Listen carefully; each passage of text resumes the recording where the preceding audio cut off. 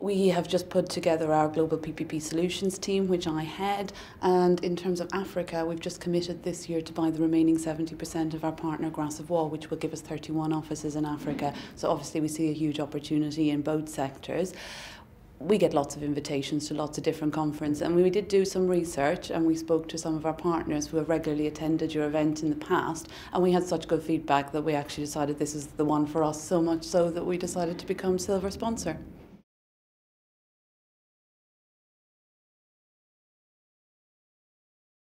We're looking to meet people who are engaged in the sector and we're looking to deepen our own understanding and knowledge of what the drivers for the people are, what projects are there, who are, who are partnering on those projects and basically to expand our knowledge of the sector and our contacts in the sector.